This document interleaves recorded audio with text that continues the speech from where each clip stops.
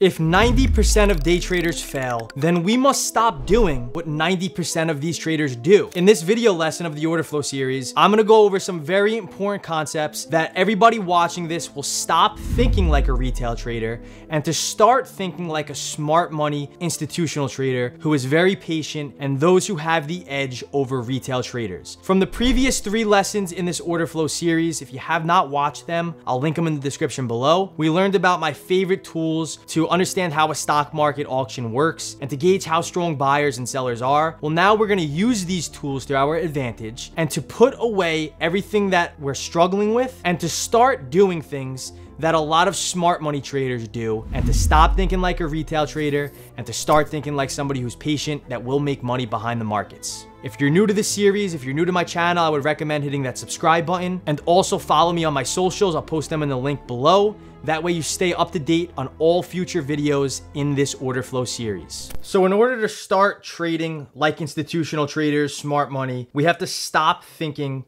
like a retail trader. Now, I'll be honest, I'm not the biggest fan of saying retail versus institution or retail versus smart money. Let's use the famous Warren Buffett quote about the stock market as a device from transferring money from the impatient to the patient. So let's call impatient traders versus patient traders. Now it's obvious 95% of retail traders lose, and a good portion of why a lot of traders struggle is because of their impatience. So let's call retail traders being very impatient versus institutions, smart money, big pockets being very, very patient and they wait for the right opportunity to strike. Retail's obviously not as profitable as institutions, big banks, smart money money versus smart money, main component to trading, let's just say, is understanding where retail traders are buying and selling at and making money from retail because they know how impatient retail is. They leave their clues or they leave their trails. And this smart money, these institutions are very, very profitable. So, in order to become successful, we have to think and we have to trade like smart money, like a patient trader, or like an institution. Money is made from those who are smart taking it from retail traders traders. Retail traders essentially provide liquidity for other smart money institutional traders, big pockets to buy from us when we're selling, or if retail selling, institution, patient traders are buying from us. So let's look at Goldman Sachs performance one year. They had 236 profitable days in one single year and only 15 days of losses. Goldman Sachs is a very well-known investment bank. They made 18.1 billion dollars from sales and trading. 41 of those days, they made over $100 million. Put that into perspective. Imagine making, I know it's a big uh, corporation, but imagine making over $100 million 41 days out of the year, and then 112 days out of the year making between 50 to $100 million. Our job is to not compete with them. We don't want to be in competition. We want to trade with them, follow their footsteps, whether it be Goldman Sachs, whether it be a traditional mom and pop prop firm in New York City, just traders who are smart, traders who are patient, traders who have other sophisticated tools that retail traders do not have access to. We want to follow the footsteps of these traders and not follow the footsteps of majority of retail traders that fail. Now, if majority of retail traders fail, we have to ask ourselves, how do these retail traders trade? The first thing that comes to my mind is buying when when they should be selling and selling when they should be buying. For example, a very simple strategy that I've seen majority of traders, especially in the beginning stages, fall into is a simple little resistance break or a pre-market high breakout or a simple low a day breakdown or pre-market low. As soon as this low breaks, I'm to get in the market. This, while can be effective, is not as effective in the long run, not putting an emphasis on the data and not putting an emphasis on specific market conditions. I've found, and I'm, I was a victim of this when I first started out trading, is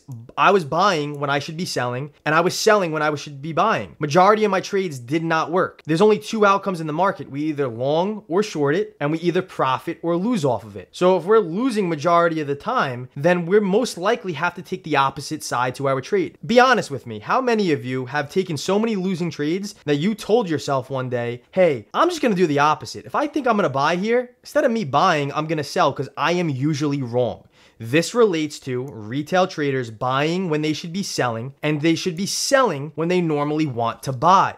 How many times have you stopped out of a position for a loss and then the market eventually moves in your favor? You buy the market, it's breaking out to the upside, you get in long as it's breaking out, it then pulls back on you. And on this pullback right here, you stop out of this trade for a loss. You're frustrated. You're like, what did I do wrong? And then a few minutes later, the market continues moving up. And if you did not stop out of this trade down here, you would have made a profit on this position. And that's so frustrating. Another example of this is what normal retail traders do is they will mark a trend line or they'll mark put one line on their charts and they think that line is what causes the market to move or they think that as just because this level breaks or the market hits their line that they're going to profit off of it. They're going to be the next millionaire day trader and they're going to change their life forever. Let me tell you one thing for a fact a line on your charts will not change your life. What will change your life is consecutive and consistent, repeatable trades that you could approach the market every single day. So let's just say you see in the market hold to this trend line, you're like, okay, the trend's holding. Let me take the market long because this trend is holding. Then the market pulls back on you and you stop out of this trade for a loss. After you stop out for the loss, you're frustrated. You're like, what did I do wrong? Why did this trade not work out on me? Nothing's working. I'm losing all my trades. My account's depleting. I'm frustrating. Let me just quit trading. And then two minutes later, the market rallies and your original analysis or your original plan would have made money if you did not stop out. Also, just being impatient. I the amount of traders, and I'm a victim to this too, like even still to this day,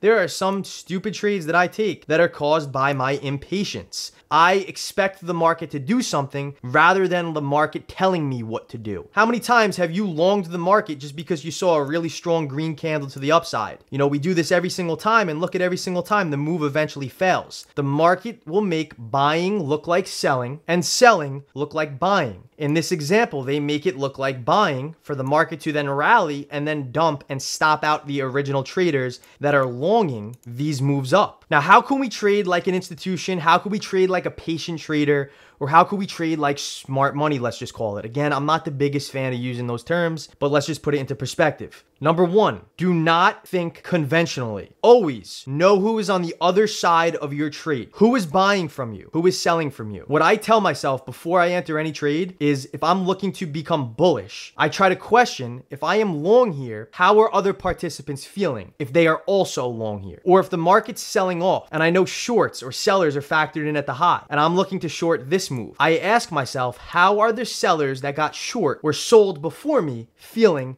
at prices now?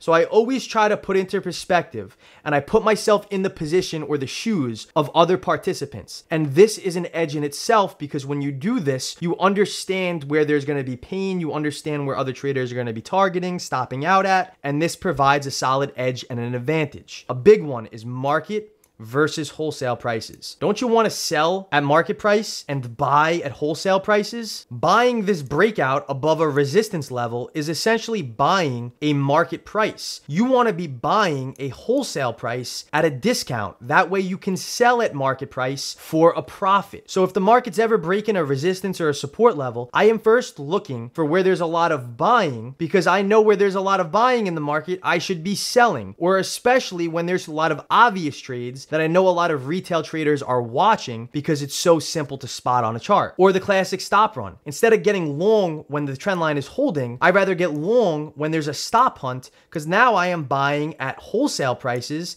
and then I could sell at retail prices. And the only way we're going to be able to spot this information is by reading the volume behind the candlesticks. This cannot fully be developed or understood or learned from a candlestick alone. When you pair it, we're spotting a lot of green buying, where there's a lot of buying pressure, or spotting where there's a lot of selling pressure, and putting yourself in the shoes of those traders who are facilitating these transactions. This is where the edge comes from by reading the volume behind the candlesticks that I've been mentioning in all the previous videos in this order flow series. If this is the first video that you're watching in the order flow series, in the link in the description below, you'll find all the previous videos. I recommend watching them and then coming back to this because they all are consecutive and all make sense one after the other. So in order to trade like smart money, we have to place orders when smart money or other patient traders or other institutional traders are active at And we can profit from these areas by trading and acting like these participants who are winning 200 something days out of the year and making $18 billion.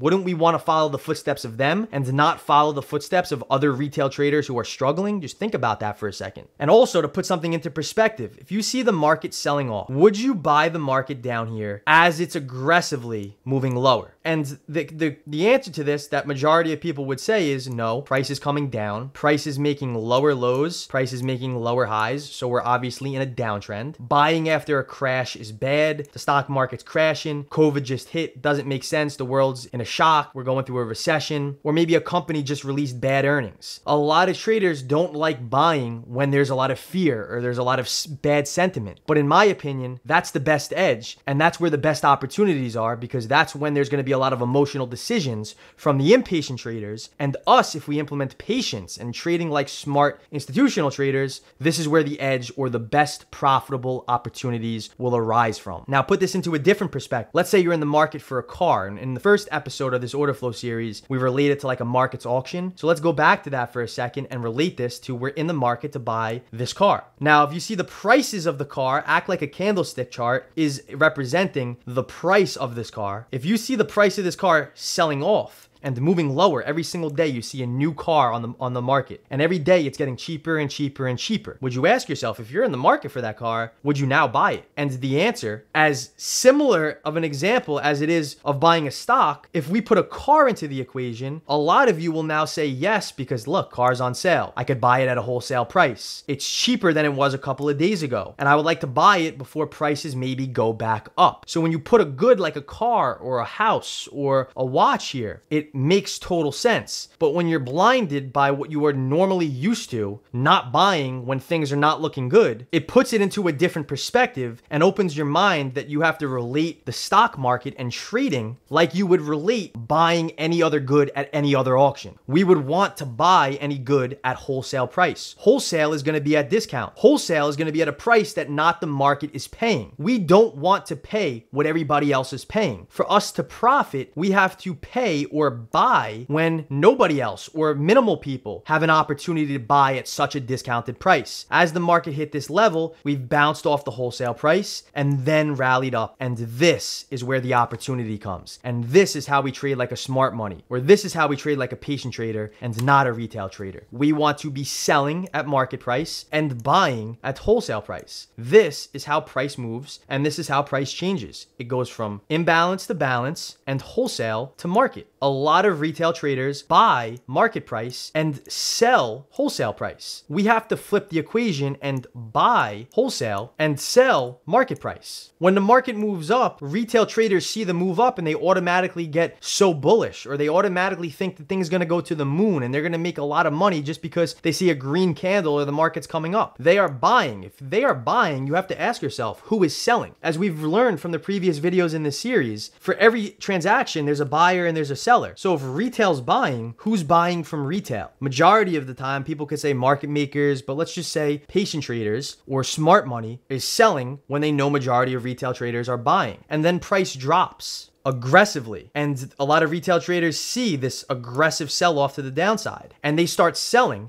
not realizing that if they're selling, somebody else has to be on the other side of their trade. Who is that? And this could be the patient traders. We want to be trading with patient traders because when we're patient, we let the bait come to us. When we're impatient, we are the bait and we're swimming around, getting caught up and providing liquidity for other traders who are the fishermen outside of the water looking for us to bite the bait. So we don't want to be liquidity, we want to trade with liquidity. And we want to be the fishermen, not the bait swimming in the water, buying when we should be selling and selling when we should be buying. Traders do not understand how dynamic the auction process of the market is. Retail and big money are the auction. Big money has a need to stay ahead of retail traders for their orders to be filled. If they have to buy, they want retail to sell. If they have to sell, they want retail to buy. They do not want competition. We are their bait. Outsmart the fishermen. Think of big market players. Call them patient traders. As the fishermen, they see the support level breaks. They know, hey, as soon as the level breaks, I know majority of retail traders are going to get short. They absorb all this liquidity. If majority of retail traders are selling, who is buying? The big market patient traders. So switch your mindset a little bit, start thinking outside of the box, start thinking like a patient smart money trader, and stop thinking like a retail trader. I wanna make this very clear. This does not mean every single move up you're looking to short and every single move down you're looking to buy. This does not mean that. This just means put yourself in the shoes of other retail traders. When you know other traders are stopping out, when you know other traders are buying a breakout, breakdown, think twice and think how those traders could be put in pain because where there is pain, there will be gain. And this is how we come into the market and profit off of it, where I personally find the highest quality and the highest probability opportunities. Don't just think that you're going to do the automatic opposite. Hey, this is a trade that I normally buy. And since I normally buy this and I'm wrong, I'm going to automatically sell it. This is not the point of this video. This is for you to switch your mindset and to start thinking like a patient trader and to stop trading like an impatient trader. Now, the next video, I'm going to explain how to use these support and resistance levels to our advantage and to know whether a break of a support or a resistance level is going to be a fake out or if it's actually going to continue moving up or down. A lot of traders use support and resistance completely wrong. I'm going to explain how I use it and to differentiate between a really strong support and resistance level versus a weak one. And if we can differentiate between a strong and a weak one, we can use that to our advantage and find really good trading opportunities. If you're new to this series, you're new to my channel, I would recommend subscribing to it. If you have any questions, let me know in the comments below. And if you learned anything from this video, drop a like, thumbs up this video, and also follow me on my socials linked in the description below. But on that note, I'm ending it. I will see you all in the next video of this series.